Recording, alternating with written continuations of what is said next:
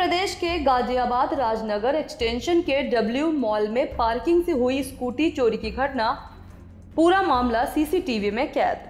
आपको बता दें कि अभी पूरे देश में चोरी छीना झपटी का मामला बहुत बढ़ गया है। चैन स्नैचिंग, मोबाइल हाथ से खींच लेना, ये सब आम हो गया है। अभी कल की ही घटना है कि उत्तर प्रदेश के गाजियाबाद में चोरों का आतंक साफ़ तौर पर तस्वीरों में देखा जा सकता है कि किस तरीके से दो लोग बाइक पर आते हैं और मॉल के पार्किंग में खड़ी स्कूटी को चुरा कर लेके चले जाते हैं। ये सारा मामला सीसीटीवी में भी कैद हो गया। हेलो जी, नमस्ते। आज मेरा साढ़े बारह बजे टाइम पे के डब्ल्यू मॉल राजनगर एक्सटेंशन में मेरी बाइक स्कूटी खड़ी थी पार्किंग में। दो चोर आते हैं, मेरी गाड़ी निकाल के ले गए वहाँ से। यहाँ थाने में बुलाया गया, सुबह एक बजे से मैं आया हुआ हूँ। पाँच बजे मुझे मेरी एफआईआर रिपोर्ट मिल रही है, पाँच बजे। इसमें एफ़ आई आर में पाँच बजे लिखा हुआ है कि मेरे को पाँच बजे रिपोर्ट गई और मेरी गाड़ी चोरे हुए एक चार घंटे हो गए। किसी ने मुझसे ये नहीं पूछा कि आपकी गाड़ी का क्या रहा क्या नहीं है।